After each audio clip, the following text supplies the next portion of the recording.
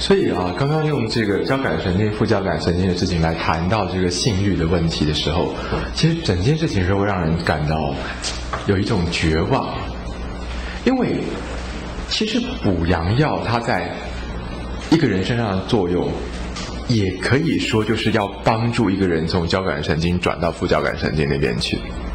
那那这个情，可是呢？需要吃补阳药的人，其实往往就是他长期这个神经切换都很有问题的人。那你说，如何能够做到这个神经很容易切换？那我觉得我的标准答案都很像卫生署讲说大家来祈祷，就是一般人不太容易做到吧。我想庄子里面的标准答案就是，不要被得失心所支配，就是你做你想，你做你觉得你觉得有意义想做的事情，然后不管这件事情会让你赚或者赔都没有关系。那。一般人好像不太行吧？一般人都会觉得哦，这事情呃钱比较少哦，那就不要选它；啊，这个科系比较冷门的话就不要选，对不对？就是有的没的，所以一般人都是被得失心所支配的状况嘛。那既然这样子的话，就是活在恐惧的统治之中，那你要跳出交感神经的支配就非常的不容易了。那所以。这个这个东西就是说说起来一句话就讲完，但是要做到，我想很多人是做不到的。那我们就假设很多人都做不到这件事好了啊，那神经都切换不过来了。那这样子的人，他如果摄入性行为，他的性行为多半也只是损耗阳气而已。那当然你可以说，对，他是不适合有性行为的。但是话又说回来了。这个用补阳药不要有性行为的这个这个说法啊，在网络上传播开之后呢，那当然我们也有一些同业啊，帮人开开补阳药治一些病的时候，也有叮咛说要记得哈，这个男生啊，你这个不要打手枪啊什么的，就是这种话。然后呢，你就会看到那个病人三天两天就在网络上面回应说：“医生，我已经忍了多少天了，我说要继续忍下去。”然后我就。不是神经病啊！就是当你这样子在压抑的时候，其实也是在交感神经的世界里面非常猛烈的要控制一个什么东西。那一样是交感神经的世界的大有发作的一个活动啊！所以这样的压抑，我不能说是去发泄比较好，可是我也不能说这样压抑比较好。这是一个很麻烦的死胡同，就是我们会有这样的问题存在。那我只能说，或许有一些帮忙不大的通融的方法，比如说，你尽快让这个人能够交心肾或者通阴阳，就是在破阴时之前，你让这个人先能够交生交心肾或者通阴阳。比如说他的药里面，你就加一撮生半夏，因为要一个人的交感神经切换到副交感神经，最有效的药是生半夏。你在药，你在他的药里面加一撮生半夏，加一撮什么小米或者薏薏米，就是在里面放什么半夏煮米汤，对不对？那不然的话，再放一点夏枯草，就是设法让他能够达成这个自我切换的机能，让他维持住，让他可以睡得好一点，那让他可以比较容易切换过来。那这样子的话，他至少性欲会比较淡一点，这个 case 会变得比较好处理，这样子。所以交心肾或者通阴阳的药，那要提前放下去。所以一旦要开。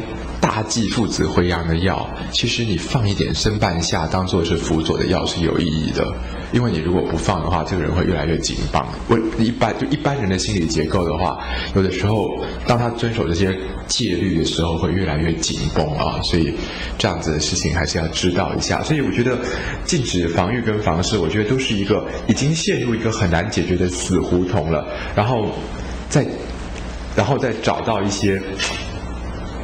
相当消极而妥协性的对应方案，啊，就是禁欲这种事情对我来讲是一个非常消极而妥协性的作为，但是也没有办法了，因为大部分的人好像没有办法做到啊古一家所说的房中术那个世界的事情，所以这个我们就知道一下。那再来呢？上次说这个慢性水肿还有一个重要的方子是鲤鱼汤啊。那大陆这边关于鲤鱼汤的论文呢，我也呃今天有发给同学了。那这个的话，它剂量都写得很清楚，所以同学就可以自己呃煮来喝。那记得就是要处理肾脏的药的时候，我我觉得慢性水肿的病，其实历代很多医家都会说，你要尽量不要吃到盐巴。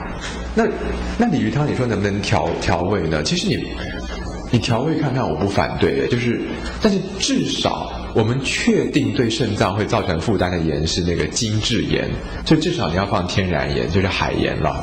那如果放海盐还会让这个汤不够有效的话，那你再不加盐。但是原则上，我觉得一般性的肾虚的话，海盐还不至于会造成多大的伤害。所以海盐可能可以放一放，就是可以调味道啊，葱啊姜啊自己加。那他这个这个讲义上面讲的说什么样的病可以加什么东西啊？那我觉得这个加法都很好，那同学就回家自己参考。那基本结构大概是鲤鱼跟红豆吧，然后还可以加一些药物啊，那同学自己看大概都都蛮容易理解的。那。那慢性水肿到底什么时候我们需要用到回阳药？什么时候需要补充蛋白质呢？那我想鲤鱼汤的辩证点就是，呃。当一个人是缺这个鲤鱼的蛋白质而造成这个病的时候，他的皮肤水肿的地方，你摸起来是会觉得比较烫手的。就是如果他的水肿是冷冷的水肿，就摸起来没有什么特别的温度感的话，那这个你可能用附子剂就可以。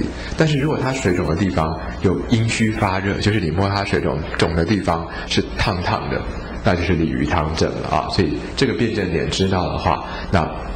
我们就知道，在父子回阳剂之外，还有哪一种类型的水肿必须要用需要用到这样的荤菜啊？所以我们这些也晓得一下。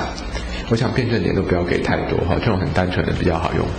那接下来呢，我们要来上《伤寒杂病论》的条文了。那么我们今天呢，来。当做复习一下吧，就是我们之前在教麻黄汤的时候，其实有快快带过的这个所谓麻黄九劲，就是烟淋疮疟血汗寒，然后再加上心悸齿迟为，对不对？就是所谓的麻黄九劲啊。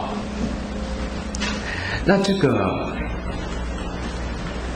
当然，我们那时候麻黄酒劲讲的就是针对麻黄剂的一个使用要注意的事情。其实可能我们现在因为是自己学中医啊，所以没有很见多识广。但是其实，在临床上面呢，是会遇得到的，就是有某一些人呢，就是对某一类的药物有特别激烈的反应。比如说像我的。干哥哥家里面就是我的干姐姐跟干妈，他们两个人就是碰不得一点麻黄，那感冒吃一点点有麻黄的药，什么葛根汤，什么科学中药一滴滴，就心悸，人就慌掉了。所以他们的体质上就是这样子，所以。那当然，我们也会说用大黄也是这样，对不对？就是平常吃的很辣的东北人，大黄五钱六钱这样放。其实东北人吃的也不辣。我是说两件事：平常吃的很辣的人跟东北人，大黄用的很重，都不太会，都不会怎么样。那我们这种南方人，大黄一钱狂泻不止啊！就是你们同学还学什么逃兵新招？就是生大黄磨成粉。然后带在身上，下毒在自己的茶水里面，然后呢，只要一滴滴，因为台湾人对大黄的抵抗力很弱，所以吃了之后就会狂泻不止，西医怎么样验都验不出来，然后就说你在当兵的地方得了脱水性痢疾，然后放了几天就把你放出来了，就不用当兵了。很无聊啊！我只是意思只是说台湾人对大黄的耐受度很低啦，就这样。小孩子不要学。那这个，所以那麻黄酒劲呢？我刚刚就讲到说，哎，我们如果用一个呃中医传统的观点，我们可以说这个人啊气虚啦、血虚啦、阳虚啦、上火啦，这些这些种种理由，所以他不能够再用麻黄剂去发他的汗。可是呢，有一位。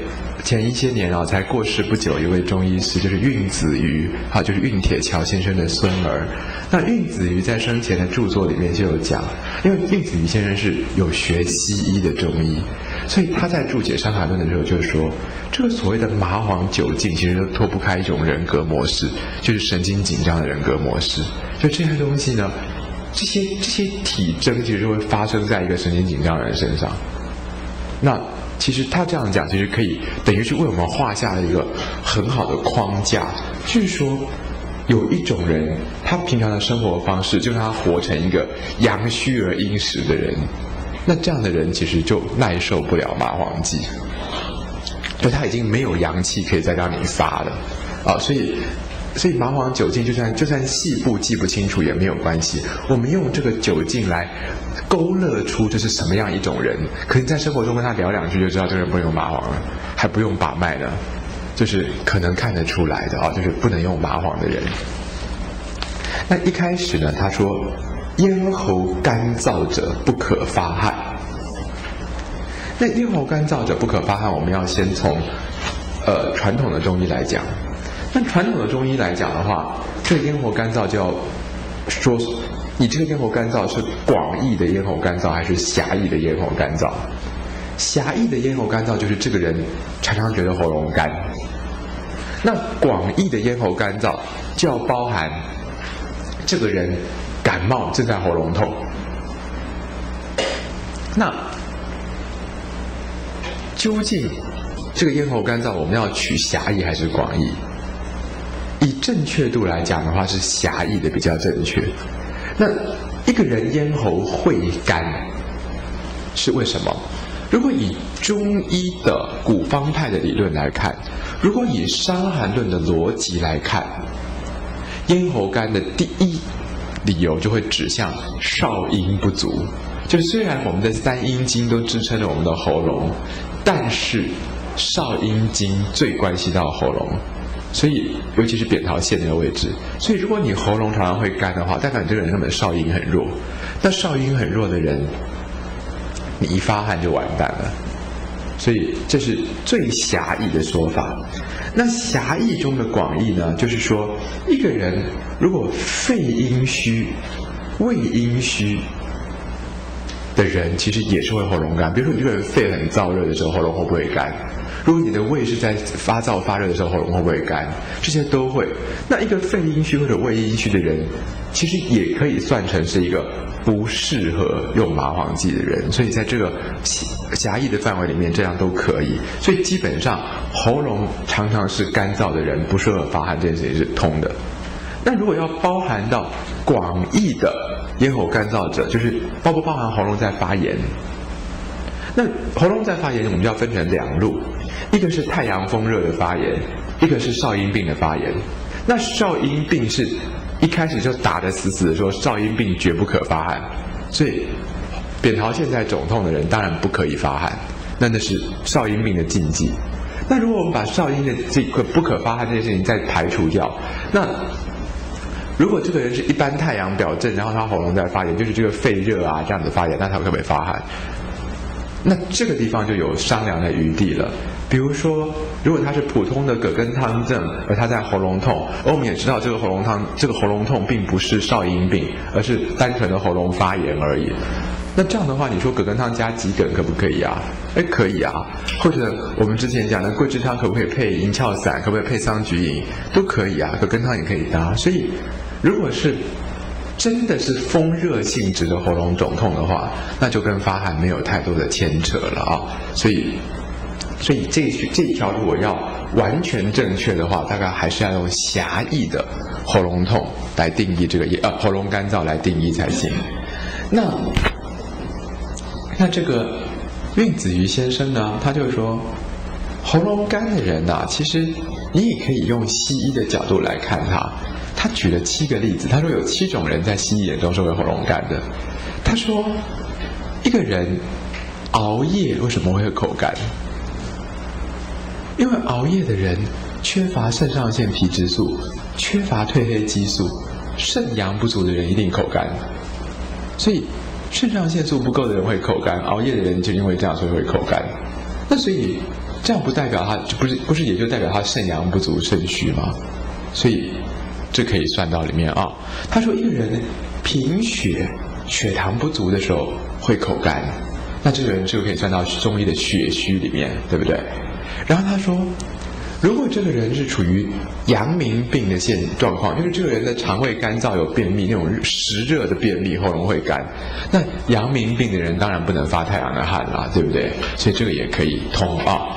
那他就说，如果有一个人他是长期的鼻塞，乃至于他只会用嘴巴呼吸，这种人也会嘴喉咙干。那那这能不能发汗啊？这个就很难讲了。这大概还可以吧啊。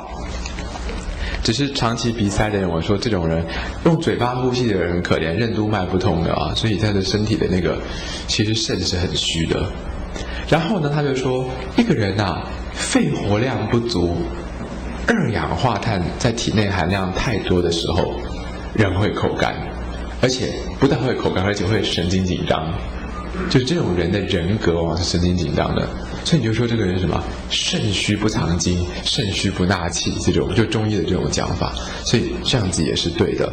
那再来说是，如果他又说，如果是气候太闷热，人被树到了也会喉咙干，那这个情况当然就另外算。他说还有就是老人家身体太虚了，唾腺都不会分泌了，这样会喉咙干，那这个是不是？也可以算到肾虚，中医的肾虚里面。所以就是，如果你把西医的喉咙干全部放到中医的框架来比对一遍，会发现也可以通啊。所以大概知道到这样子的话，我们就我刚举这些有的没的讲一讲，其实也是让同学开始去认识说，会被放到麻黄酒劲的这个框框里面的是哪一种人？就是我们现在开始在帮他画素描，一笔一笔勾勒出。他是哪一种人啊？那再来呢？他说邻家不可发汗，发汗必便血。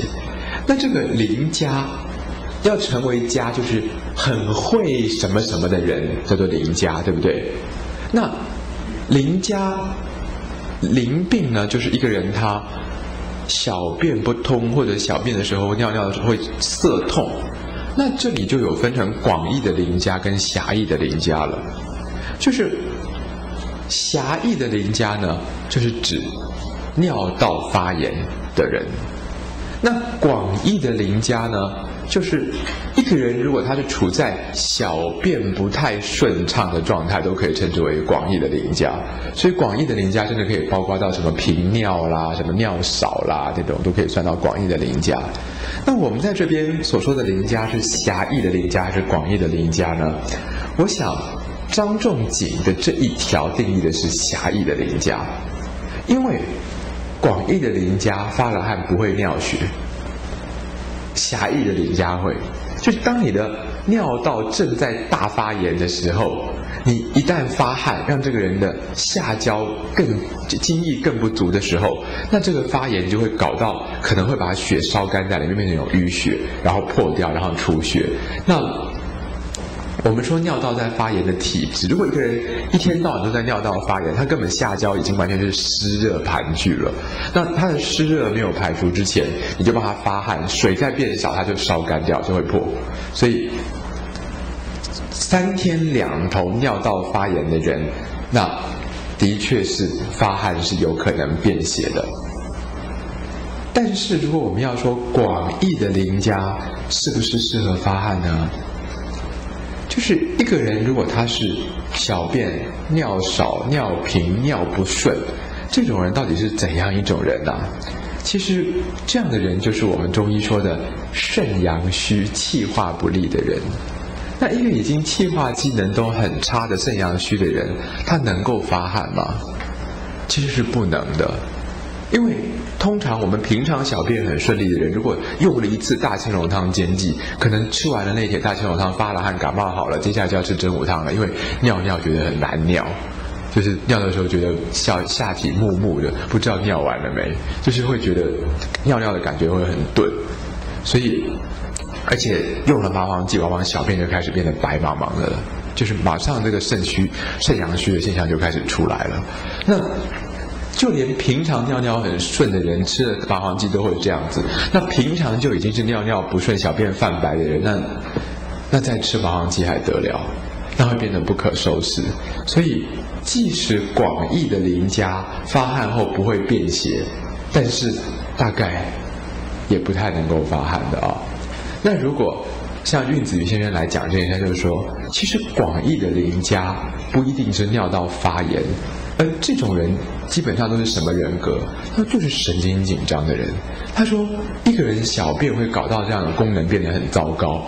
这个人通常都有前面一半，他他的前一段人生，大家都是活在神经紧张之中。我想，我们大家可能都会有有一些印象，比如说。赶着交一个报告，或者是公司出了什么大篓子，那边很紧张、很紧张、压力很大的时候，其实那个时候我们的小便的机能都会乱乱的，对不对？那如果长期在这样的一个心理压力之下，其实是很可能造成越来越慢性化的小便机能的失调。那只是现代人看到。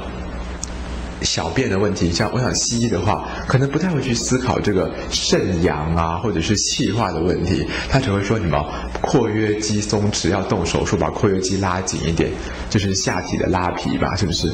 但是其实可能不能真的解决问题啊，因为当我们治疗小便的问题，中药很有效的时候，就会让人觉得好像西医那边的论点没有办法包含全面全面的真相。那再来呢？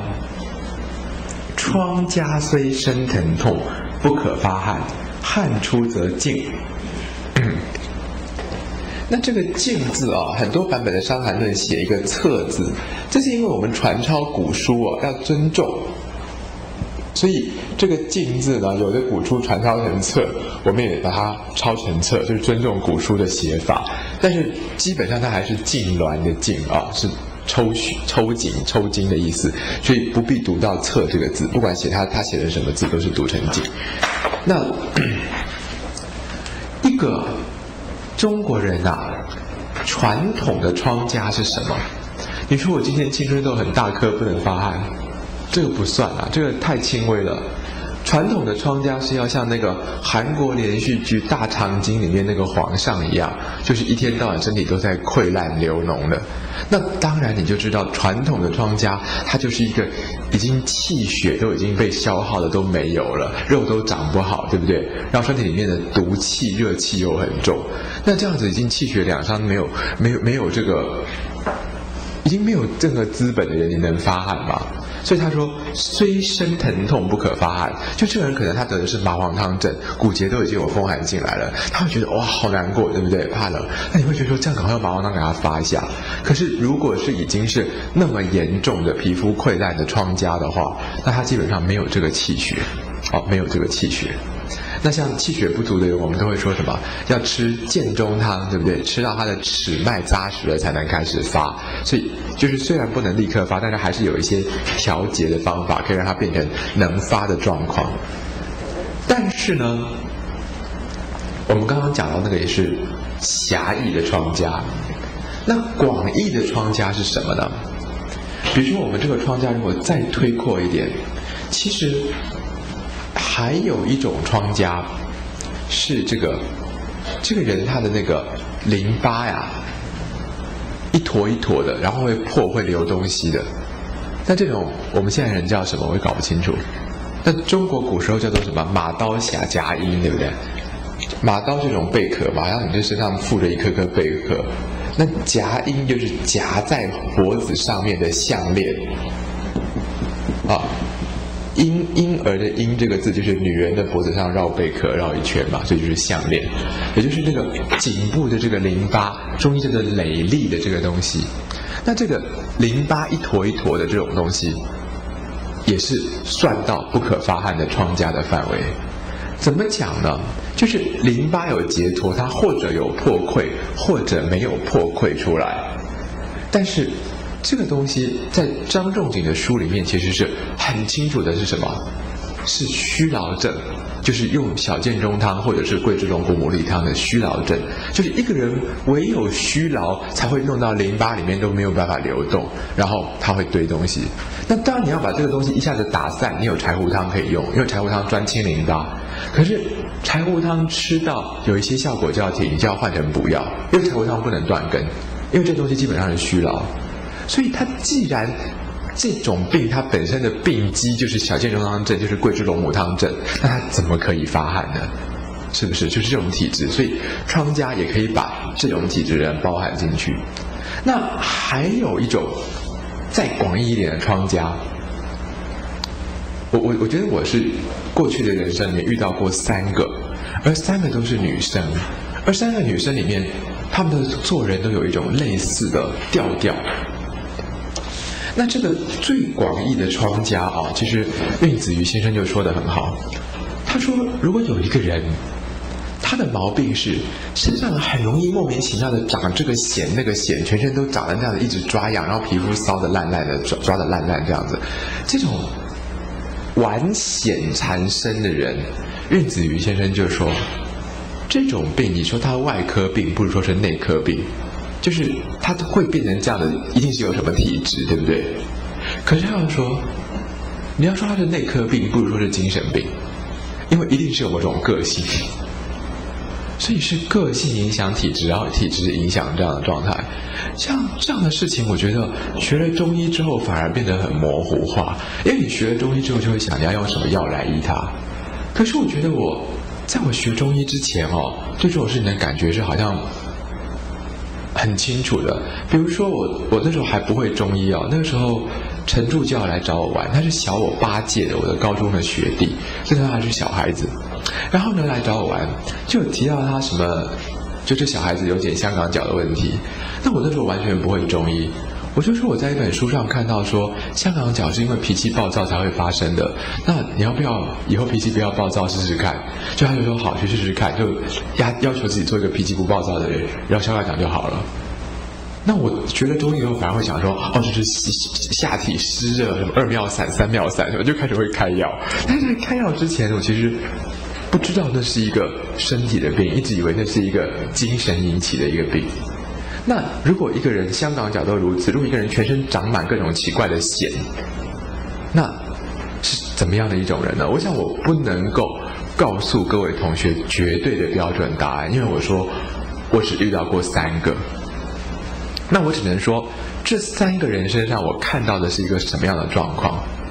就是那也是十几二十年前的往事了啊！就是呃。没有到二十年前啊，十几年前有一个女孩子，就是在工作的，就是同样的是出版业界认识。然后你刚认识的女孩子会觉得这个女孩子是一个开朗大方、充满正义感，就眼光看起来看人的时候都看得很直，就是看起来很清澈那种感觉的人，就是让人觉得她是一个很，就是很正直的人这样子。然后，可是她就是完险缠身啊，就是那么漂亮一个人，她的身体如果撩开这个袖口啊什么的，就乱七八糟的，然后很麻烦，不知道怎么医才医的好。那就等到认识久了之后呢，有一次听他讲的，他有一个过去的故事。他说他从前在日本留学的时候啊，曾经遇到过一件怪事情，就是他在一个人家借住，就是有一个房东啦，他又有一天要回到他住的地方的时候。他房东呢，把门锁起来，把他关在外面，然后把他所有的行李丢在门口，然后让他进不去，然后不跟他说一句话。